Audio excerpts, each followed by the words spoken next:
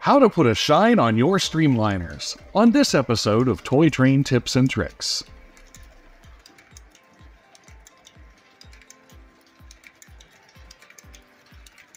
And hello again. This is Mike with another episode of Toy Train Tips and Tricks. And I have a couple of Lionel's aluminum streamlined passenger cars. This is from the Super Speedliner set of 1952. And these cars were part of the same set. And our goal today is to make this car uh, look as nice and shiny as this car. When Lionel first cataloged the classic 2333 F3 diesels in 1948, the EMD diesels led freight trains only, as Lionel's only existing streamlined passenger cars, the 2400 series, were too small for the scale dimension diesels, and Madison or Irvington style heavyweight cars looked too old behind these shiny new locomotives.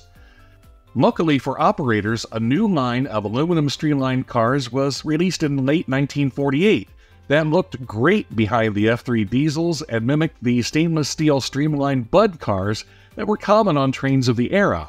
Unfortunately for Lionel, these cars were not theirs, but were instead made by AMT, alternately known as Auburn models or American models through the years. This upstart Indiana firm had caught Lionel napping and not for the last time, and filled the gap in the Lionel line with well proportioned and detailed cars that are coveted by collectors today. It was not until 1952 that Lionel answered the AMT challenge with the classic Santa Fe Super Speedliner set. First led by a pair of number 2343 diesels and later by 2353 F3s, this four car set became a Lionel classic Behind the pair of F3s were two Pullman cars, the number 2533 Silver Cloud and 2534 Silver Bluff, plus a number 2532 Silver Range Dome car, or Astra-Dome as it was called in the early boxes, and the number 2531 Silver Range Observation car. The silver names of the cars recalled the similar names given to streamlined cars on the Burlington route for service on the California Zephyr and other prestigious trains. The Super Speedliner set retailed for $89.50 in 1952, which would be more than $1,000 in 2023 values. A note of warning when these cars originally left the Lionel factory, the aluminum was in what is known as mill finish that means these cars were not polished and shiny when they were factory new. So if you have a set of cars with a more flat gray finish and you're concerned with keeping them as mint or light new, then do not polish these cars. The first part of the process is we're going to disassemble the car so that we can get it all the parts and not have to worry about breaking anything. And the first step, and uh, this comes in handy if you ever need to replace a light bulb, you don't have to take the car completely apart. So first we're going to just remove this one screw here. And this actually brilliant Lionel engineering. Each of these trucks with the lights is all one self-contained unit with the light bulb and everything. So there's no additional wiring to worry about in the car. Actually, you can change the light bulb just by pulling the plug that way. Uh, but if you need to get in here, just one screw and the whole truck assembly comes off pretty nifty. Now I'm going to take this screw, and there's a little bit of corrosion there.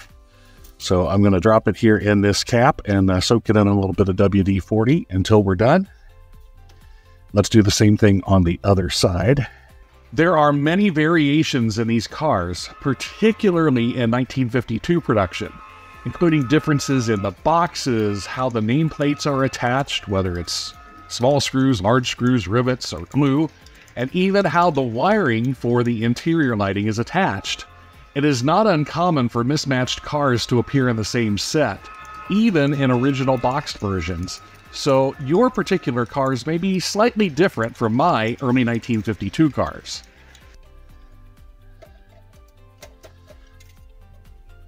Oh, and that one, the bracket came off. Okay. That bracket helps center the truck. Do the same thing with the screw, put it in our little container, and I'm going to need this later, and we'll set this all aside. I want to avoid uh, doing anything with these plastic pieces, cleaning wise. So I'm going to take these out apart and get them out of the way. And for that, there are two screws on either end. That's one.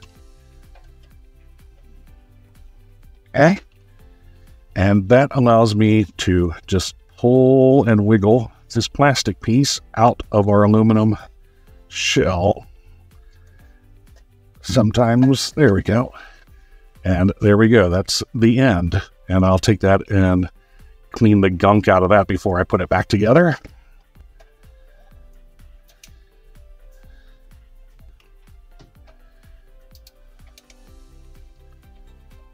All right, and again, I'm just going to wiggle the vestibule end here until it pops out of our aluminum shell. Carefully wiggle it. And there we go. The next subassembly. And again, there's some crud and gunk, and I'll clean that all up before I put everything back together. Uh, now I'm going to go ahead and take my window channels out, and you can see there's gunk on those. There's one.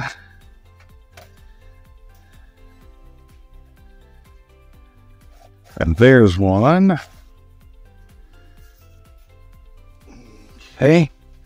Now I could leave the base in place and clean this, but I've got some surface rust here and there's some, I'm sure, on the other side as well. So I'm going to go ahead and take the base plate out and I kind of take care of this rust before I put everything back together. So I'm going to go ahead and disassemble all of this. Now, sometimes they just slide right out.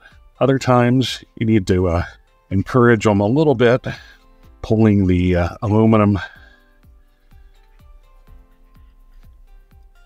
slightly. There we go.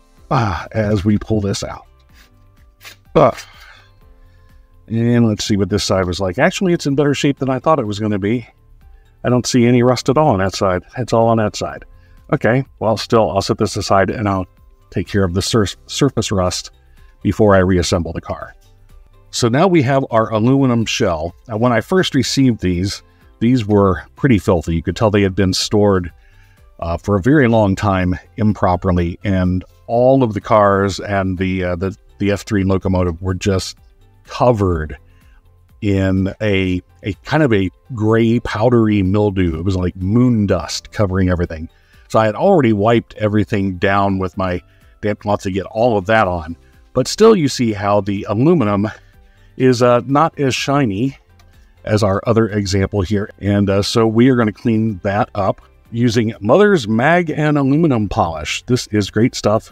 Works great on these cars. You can find this at box stores, at auto parts stores, uh, or online. I think I got this at Walmart because I just happened to be shopping in Walmart and went, oh, you know what I need today?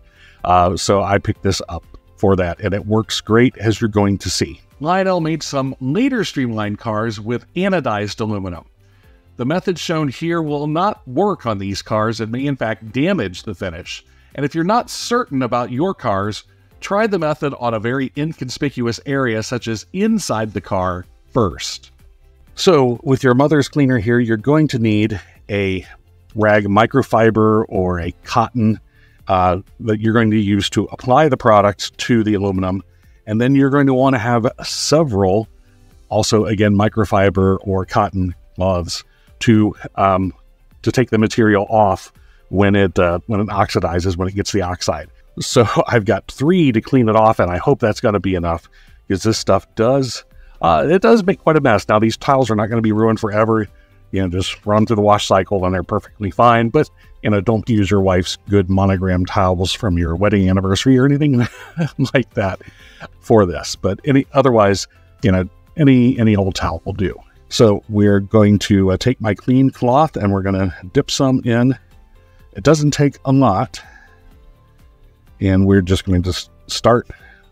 I like starting on the roof and we start rubbing it in.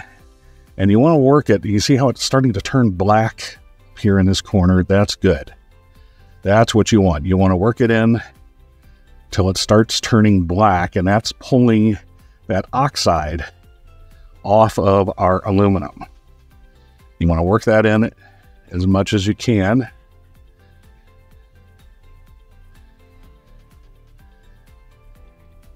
and then reapply as necessary. Then it starts getting a little too thin. You can add more, not too much at a time. And again, work it in until it starts turning black and just keep working, keep working. Uh, one thing you don't want to do, you don't want to leave it on there so long that it dries. But what I found working on a, a piece this size, that shouldn't be a problem. I haven't found any problems with the nameplates. Uh, you may be tempted to take them off. For me, those little connectors are so small, I don't think I would be able to see to get them back on. So I'm just leaving them on. And uh, with the other cars that I've done, it hasn't caused any damage that I've noticed. And then you can use a cotton swab to work really close in the details if you can get your towel in there. Okay, so now I've treated my entire roof line. And so now before I go on, I'm going to go ahead and I'm going to take a dry towel and take this off.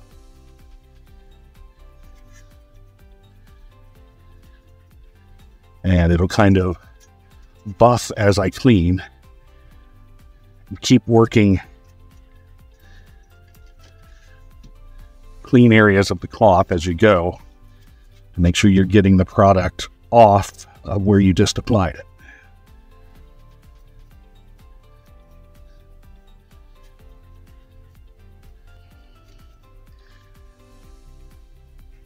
Okay, and so compare the shininess here of the roof to the sides, and you can you can see the demarcation line there, where I'd got shiny and we have our dull. So now I'm going to pick a side and uh, work on the side.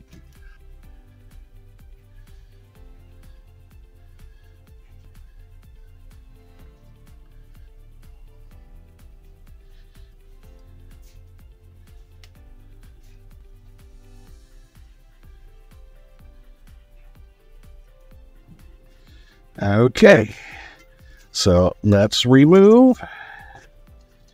Let's use a cotton swab to get in right here next to the nameplates.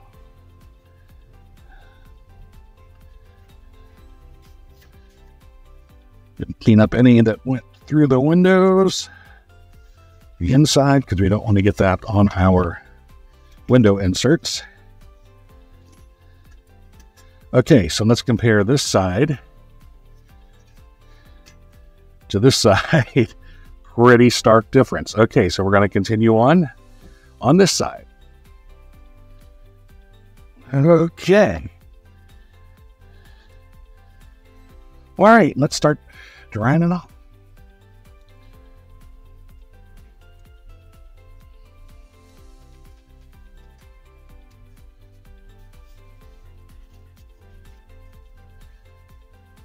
All right. And now it's a silver buff and not a dusty gray buff. Okay, now before reassembly, uh, let's start with the frame. And I've got one of my generic wet wipes. And uh, so I'm just going to wipe over where this active rust is. You see it. The wet wipe is just, just has just enough texture to take that active rust right off of there. Check the other side. The other side looked good. Yeah, the other side was clean. This was by far the best condition of all of the cars. And then, um, just to give them a little bit of protection so that the rust doesn't come back, I'm going to take my same dirty wet wipe and I'm just going to shoot some WD 40 on it. Just go back and rub everything. That WD 40 will kind of be a surface protection to prevent that oxidation I'm coming back at least for a while. And now I'm going to do pretty much the same thing with each of the truck assemblies.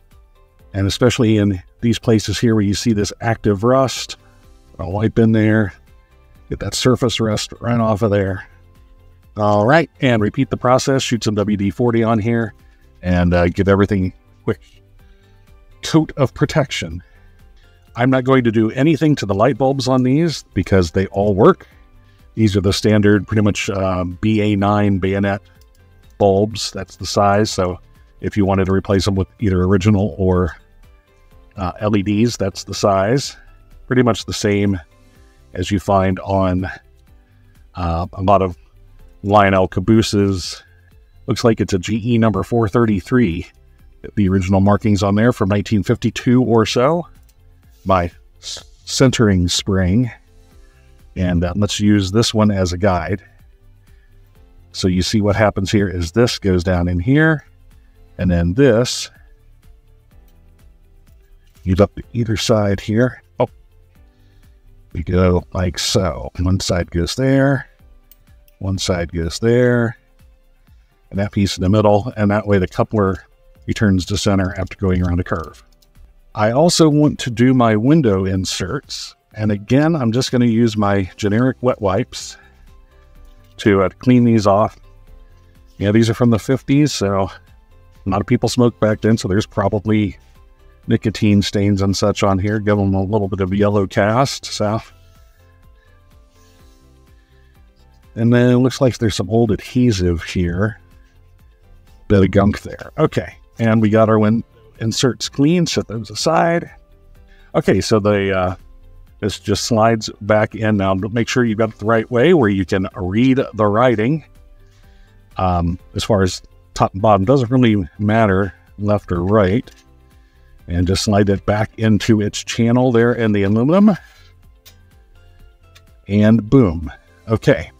Next, take a truck assembly and this little tab goes right underneath there. Tricky part is getting that there and the light bulb. Okay. And then all we need to do is secure it in place with our screw. This is not a magnetic screwdriver, so I'm using a little piece of Gorilla Glue wall putty, poster putty, uh, to get the screw started. That is secure. Other side. Okay. Okay, so to put the window inserts back in, again, they go right back in the channel. Put the one the window with the car number goes next to the big vestibule end on each car, on each side. So get it started, find the channel and push it in there. And if it all works out, you should see the car number right there, and all of the people should be in their appropriate spots. I had some more there. Okay, flip it over, and here's my vestibule end. Here's my car number. Find the slot. Bingo. Everything lines up. So now, just going just like I took it off, put it back on. We're just going to line it up and wiggle.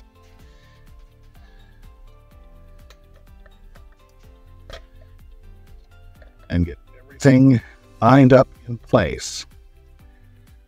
Now I'm not going to screw it in yet because there's a little bit of wiggle room here with the frame and I want to make sure both ends are firmly secured before I screw either one of them in.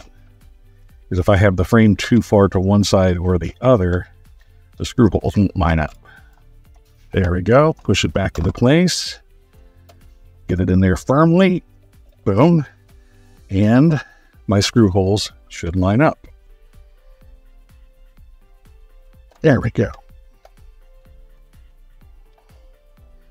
It's one, two. I lied about the last step. Uh, while I've got it here, I'm going to go ahead and lubricate my wheels. I'm using uh, XL Light, and on each truck, I'm going to hit inside and outside of each wheel on the axle to help these post-war trucks rotate well, and then one drop on each side of the roller pickup. And there we go, a nice shiny silver streamliner. Let's put it with its brethren on the layout and see what we've got. My version of the Super Speedliner is a mishmash of various items. While my four cars share the common traits of early 1952 production, the F3 dummy that came with them is a number 2353, which was not produced until 1953. My set did not include a powered unit. I browsed various websites in vain for several weeks, looking for a twin motored Santa Fe F3 in decent shape that was within my budget. I thought about adding a Santa Fe F3 shell to a cheaper single motor MPC era F3, but realized that a single motored unit would not be able to pull this heavy metal train.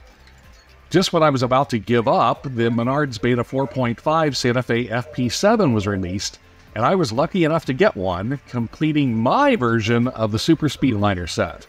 1952 meet 2023. I hope you enjoyed watching this video as much as I enjoyed making it, and maybe you were inspired to put a little shine on your post-war Lionel cars. If so, please spread the word to your friends and neighbors, and to the almighty YouTube algorithm by giving us a like, a share, subscribe, and leave a comment about your favorite Lionel passenger cars. Also, don't forget to visit the video description for links to some of the products and trains mentioned in this video. So keep the trains shiny and running, and we'll see you next time on Toy Train Tips and Tricks.